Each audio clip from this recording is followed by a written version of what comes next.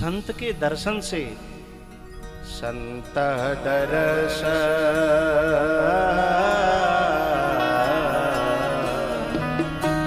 संत दर्श जिमि। पातक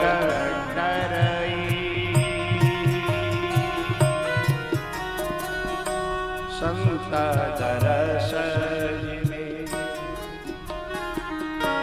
पातक संत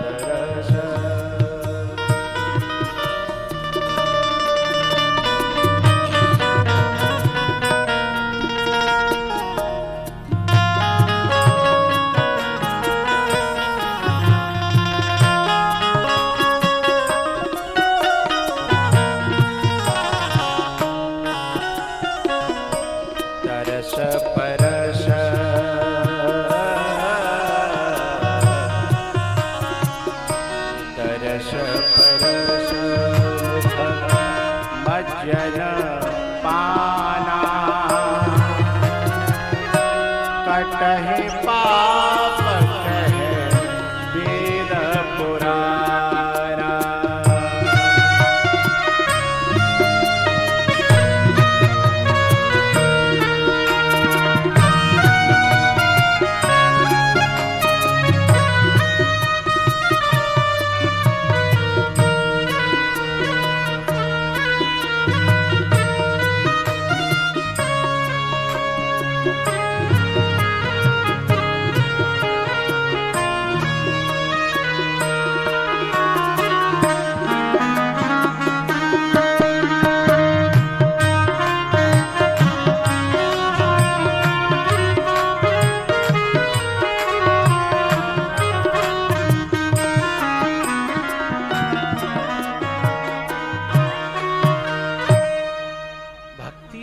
अंकुर, वैराग्य का अंकुर, ज्ञान का अंकुर जब फूटता है तो पता है बेकार जो है उसे खाने की कोशिश करते हैं, लेकिन कुछ दिन रखवाली बनी रहे, धमाका चलता रहे। तो ये जो भक्ति, ये ये जो जो नारी है ना, युवती जो रो रही है, नारद जी ने पूछा कि तुम कौन हो देवी? तब वो देवी कहती है, बाबा, मैं भक्ति हूँ। बोले, क्यों रो रही हो? बोले, मेरे ज्ञान और वैराग्य ये दोनों पुत्र हैं ना। ये बूढ़े हो गए हैं, जर्जर हो गए हैं। ये मरना सन्न है। इनमें न जान आ जाए, ये न ठीक हो जाए तो मेरे को सुख मिले, चैन मिले। अच्छा लाओ, मैं उपाय करता हूँ। नारद जी ने अनेक उपाय करे। लेकिन भैया, ज्ञान वैराग्य में कोई फ़र्क नहीं पड़ा। नारद जी ने प्रार्थना करी कि हे परमात्मा, मैं ऐसा क्या उपाय करूँ कि ये ज्ञान वैराग्य जागृत हो जाए, ठीक हो जाए, मज़बूत हो जाए, बलवान हो जाए, जवान हो जाए?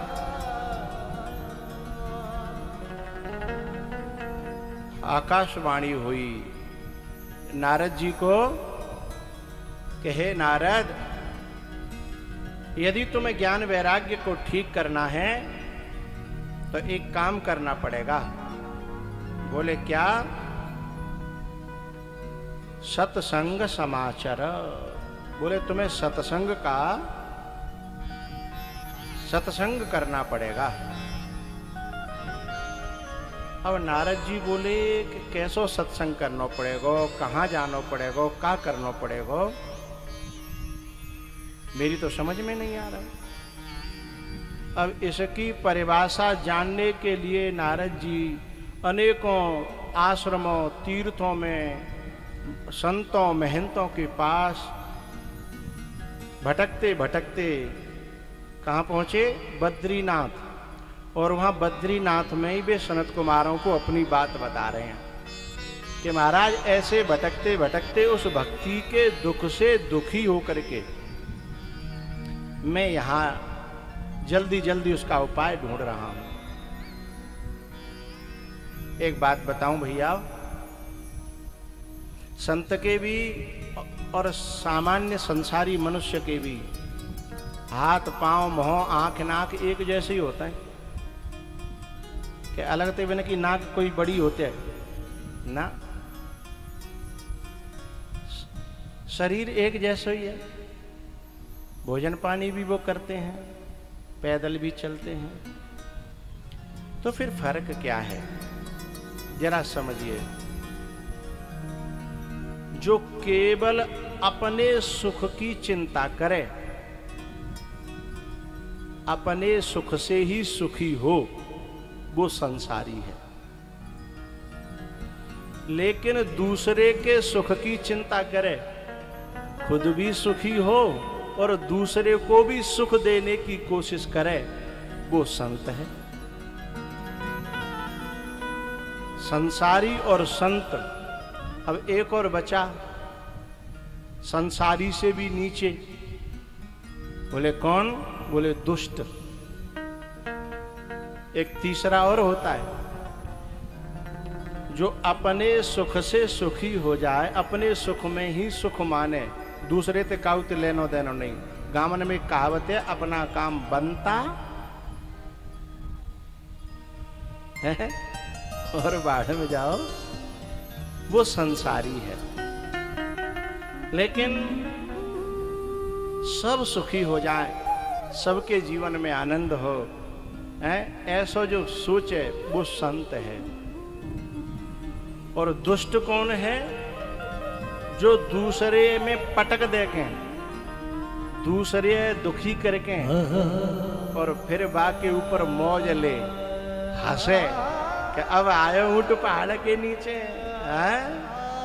अब मालूम पड़ेगी जागी है? वो दुष्ट है। वो राक्षस है, वो दैत्य है। हैं? तो नारद जी दुखी तो हैं, लेकिन किसी और के दुख से दुखी हैं। हैं?